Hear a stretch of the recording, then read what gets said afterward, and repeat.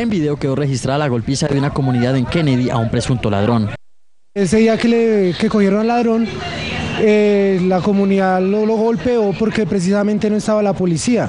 Nosotros tuvimos que actuar nosotros porque nosotros aquí en el sector nos colaboramos todos. Los presuntos ladrones habrían regresado a amenazar nuevamente a los comerciantes. Esta mañana tipo 8 de la mañana llegaron y otra vez como amenazándonos, vinieron encapuchados, pues, miraban hacia el frente, venían como que armados, entonces nosotros de pronto nos sentimos un poquito desprotegidos. El sujeto al parecer se baja de un bus en este paradero porque estaba robando según la comunidad. Después llega a este punto y golpea a una señora. Luego la comunidad lo golpea porque al parecer la policía nunca llegó. Policía Kennedy asegura que la respuesta está dentro de los tiempos estipulados y hacen un llamado a la comunidad para que no tomen justicia por su cuenta.